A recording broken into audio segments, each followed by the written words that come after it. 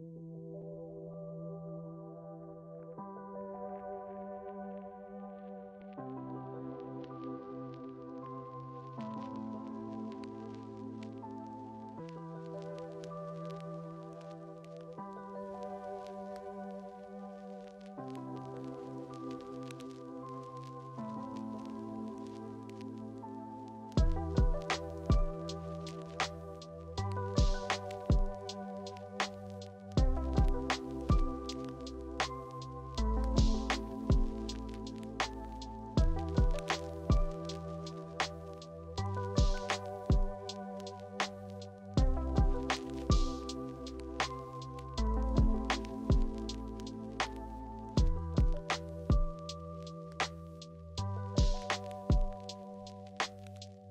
Yo, what's up? It's Ronek, your host here at Got No Control Podcast, and I'm back with another special episode.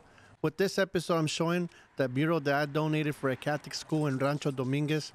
I started by dropping on the outline. Virgin Mary is very holy and very important, so I tried my best to take the most time I could on it to get the best effect and the best image possible. While I was painting, it's always good to have a good joke, so I had the, one of the homies from the neighborhood pull up on me, and gave me a smile, motivated me.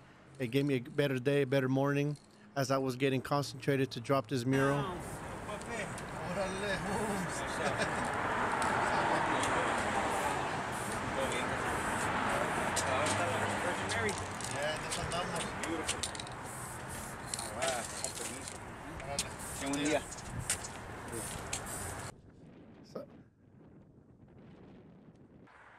So here I, I started adding more detail into the butterfly. I started shading it in.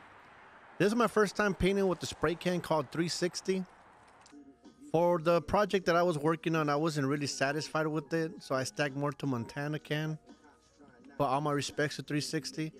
I had the pleasure to have one of my special guests on the podcast pull up on me and paint with me. It was a great experience. Shout out Sender One.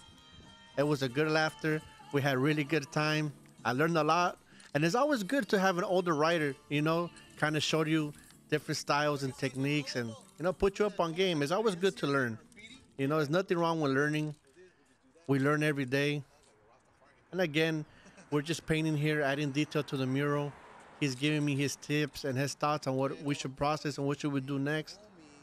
It was all fun. It's always important to me to give back to the children.